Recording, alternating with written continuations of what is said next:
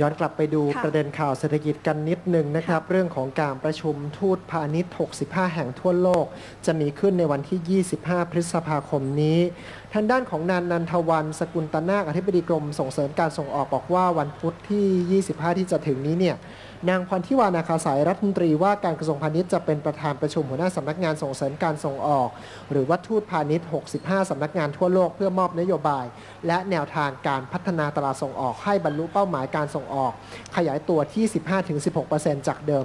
12%โดยในในส่วนของกรมส่งเสริมการส่งออกเนี่ยจะกำชับให้ทูตพาณิชย์ ติดตามสถานการณ์ และปรับแผนงานให้ทันเหตุการณ์ รวมถึงผลักดันโครงสร้างที่จะช่วยเสริมลูกค้าในประเทศอีกหลายโครงงการ เช่นโครงการตลาดกลางซื้อขายทางอิเล็กทรอนิกส์ผ่านเว็บไซต์ thaitrade.com เพื่อส่งเสริมผู้ประกอบการไทย ประชาสัมพันธ์และเจรจาซื้อขายสินค้าบนโลกออนไลน์ โดยไม่เสียค่าใช้จ่ายกำหนดเปิดตัวเป็นทางการเดือนมิถุนายนนี้ก็คาดว่าปีแรกเนี่ยจะมีผู้ประกอบการเข้าร่วมโครงการ 3,000 ราย และมีสินค้าซื้อขายกว่า 60,000 ราย โดยมีผู้ซื้อไม่น้อยกว่า 5,000 รายครับ